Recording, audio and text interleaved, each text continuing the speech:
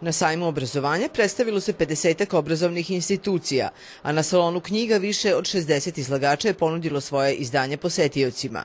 I ove godine sajem organizovano posećuju učenici iz cele Vojvodine kao i sugrađani koji po nižim cenama mogu da nabave izdanja za koje su zainteresovani.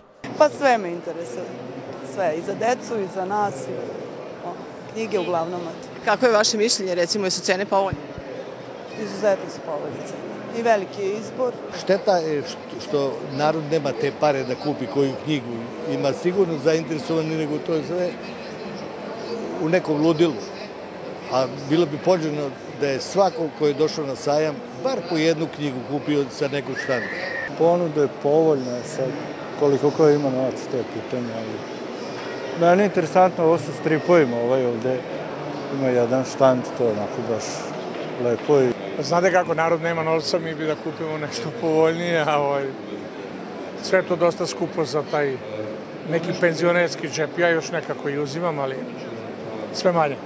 Na 20. salonu knjiga koji se organizuje u saradnji sa Udruženjem izdavača i knjižara Srbije u ponudi je mnogo novih naslova, a specijalni sajamski popust iznosi od 20 do čak 70 odsto u odnosu na cene po kojima se knjige prodaju u knjižarama. Kod nas trenutno eto poezija ide najviše, imamo malo istorijskih, recimo Vojvodina pod turskom vlašću, to je naša nova knjiga iz preduzeća Kairos.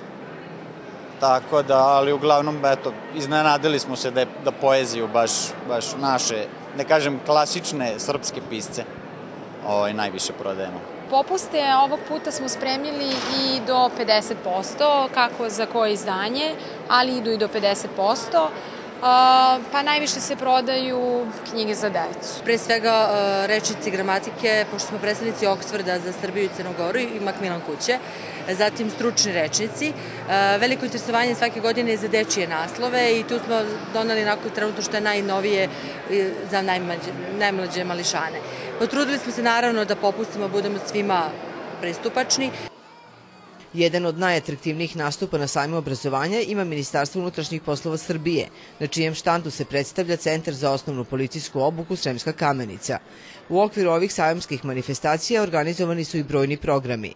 Nedelja je poslednji dan Dana Laze Kostića i Evropskog pesničkog Facebook festivala, a u ponedeljak će biti uručena nagrada za savremenu likovnu umetnost Sava Šumanović i počeće dani biblioteka i bibliotekara.